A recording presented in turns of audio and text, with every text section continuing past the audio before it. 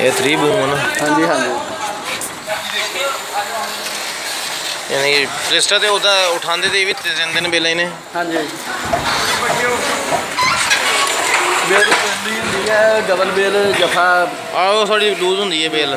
You S A ਦੀ bill ਨਹੀਂ ਖਿਸਕਦੀ ਨਹੀਂ ਉਹ ਨਹੀਂ ਉਹ ਨਹੀਂ ਖਿਸਕਦੀ ਉਹ ਜਿੰਨੀਆਂ ਮਰਜ਼ੀ ਚੁੱਕ ਲਓ ਜੀ। ਬਸ਼ਰਤੇ ਕਿ ਲਿਫਟਰ ਚੱਕੇ ਤੇ।